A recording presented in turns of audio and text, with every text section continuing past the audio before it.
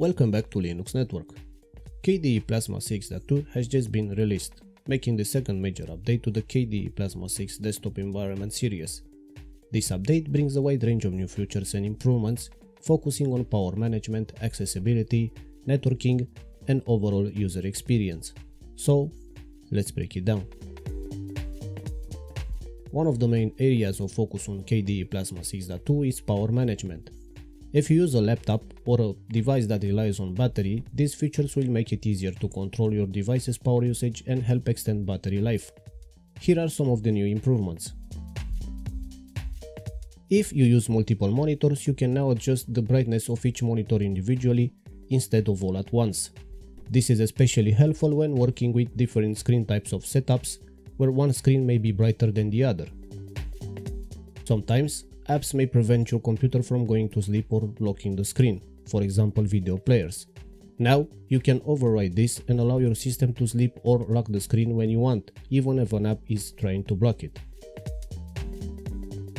You can now quickly change between power profiles such as performance or battery saver using the keyboard shortcut Meta plus B. This makes it faster to optimize your computer's performance depending on what you are doing whether you need more power for gaming or want to save battery while working. The battery monitor widget now shows a small badge to let you know which power profile you are using. This makes it easy to see at a glance whether your computer is in performance mode, balance mode or saving power. Before, the battery monitor widget will disappear once you plugged in your computer to charge. Now, it stays visible, giving you easy access to your battery settings and status even when plugged in. KDE Plasma 6.2 introduces a new feature called tone mapping in the KWin compositor, which is the part of your system that handles how windows and graphics are displayed.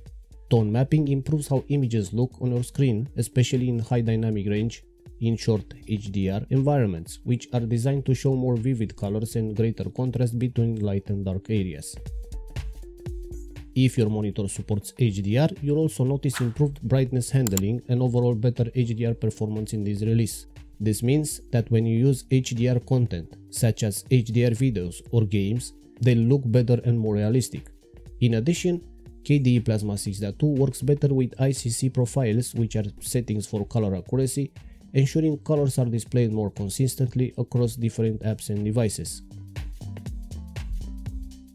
KDE Plasma 6.2 also makes it easier for users with different accessibility needs to use their computers. The update includes several new accessibility features. If you have color blindness, KDE Plasma 6.2 now includes filters that adjust the colors on your screen to make them easier to distinguish. This is a great step toward making the desktop environment more inclusive for users with different types of vision challenges. Sticky keys is a feature that helps people who have difficulty pressing multiple keys at once. It allows you to press keys one at a time when entering commands like keyboard shortcuts. KDE Plasma 6.2 now supports sticky keys fully on Wayland, a display server that KDE uses for better performance and modern display features. The user interface, in short UI, for the accessibility settings has been redesigned to make it easier to find and use different options. This should make it simpler for users to adjust the system to meet their specific needs. There are also some improvements related to input devices such as your mouse or touchpad in this release. KDE Plasma 6.2 introduces support for auto-scrolling and the libinput driver which handles input devices like your mouse or touchpad.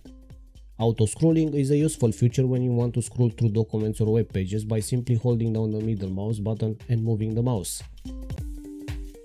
Smooth scrolling makes scrolling look more fluid, but some users prefer the old style of scrolling, which is more jumpy but can be more responsive. KDE Plasma 6.2 gives you the option to turn off smooth scrolling if that's your preference. Plasma Discover is KDE's graphical package manager and app store, where you can find, install and update apps. In KDE Plasma 6.2, Discover has been improved in several ways. Support for postmarketOS this is a mobile operating system and Plasma Discover now supports it, making it easier to manage apps on mobile devices that run postmarketOS. After applying an update that requires restarting your computer, Plasma Discover now lets you automatically shut down your system once the update is complete. This is convenient if you're updating your system before going to bed or leaving your computer unattended. The app review system in Plasma Discover has been improved to give you more accurate information and the license of apps, which tell you how the software can be used, are now more clearly displayed. Networking has also received some attention in this update. KDE Plasma 6.2 now supports Enhanced Open, a more secure version of public Wi-Fi that protects your data even when you're using an open unsecure network.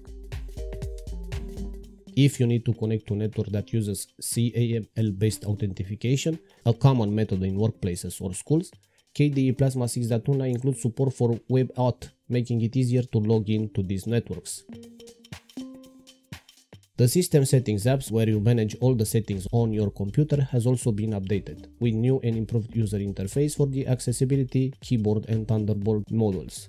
This UI makes it easier to find and adjust settings related to these areas. If you're a digital artist or use a drawing tablet, KDE Plasma 6.2 brings several exciting features for you. Drawing Tablet Calibration Wizard. This tool helps you calibrate your drawing tablet to make sure it works accurately with your screen.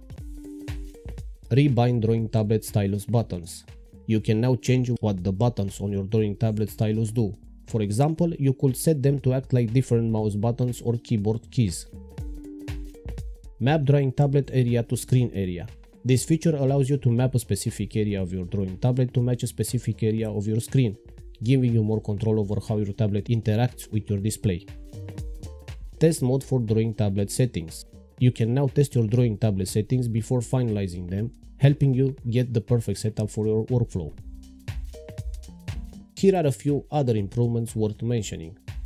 The system tray now has a better layout making it easier to see and interact with icons and settings.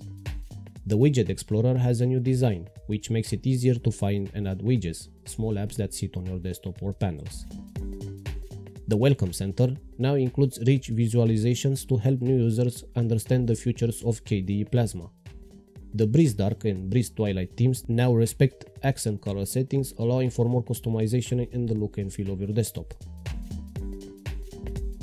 All around, KDE Plasma 6.2 is packed with new features and improvements that make the desktop environment more powerful, customizable and accessible. Whether you're looking for better power management, improved HDR performance, enhanced input device support, or new tools for digital art, this update has something for everyone.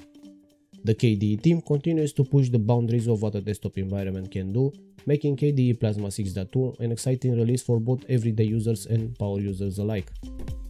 Now that it's released, you can expect it to soon become available in the stable software repositories of popular rolling release distributions like KDE Neon, OpenSUSE Tumbleweed, and Arch Linux. And as always, if you find this video useful, please like, share and subscribe. Thank you for watching, and I'll see you on the next one.